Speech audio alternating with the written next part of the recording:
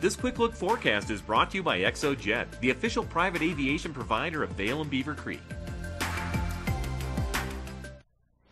Happy Friday. It is officially Keystone's opening day for the season. So, of course, I'm going to be out there and doing a little snowboarding, and hopefully, you'll join me. Now, we're going to be seeing a lot of sunshine out there for opening day. High pressure is starting to move back into the state, and that is going to be affecting our weekend conditions because we're going to be seeing a little bit more sunshine out there after this fresh snow. So, that's great news.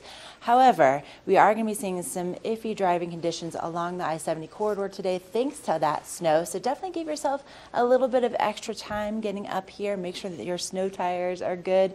And we're going to be seeing sunshine and highs in the 20s for Breckenridge and Keystone. Same thing for Vail, a little bit warmer towards Beaver Creek, but it's going to be a gorgeous day to get out there and do some skiing and riding. Now, looking at what's going on with our extended forecast, we'll be seeing those temperatures getting back into the 40s for Saturday and Sunday, but overnight lows still looking good for the snowmaking over Vail, and Beaver Creek in anticipation for their opening days next week. And then we could see another system moving in Monday and Tuesday, so that's great news. Again, because Beaver Creek will be opening on Wednesday, November 23rd, and Vail opening on November 25th.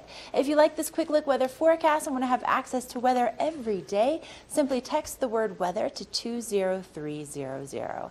This quick look forecast has been brought to you by XOJET, the official private aviation provider for Vail and Beaver Creek. Have a great day.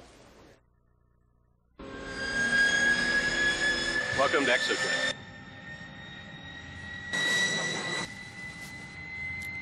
Challenger 552 X-ray. The smarter way to fly private. Visit xojet.com.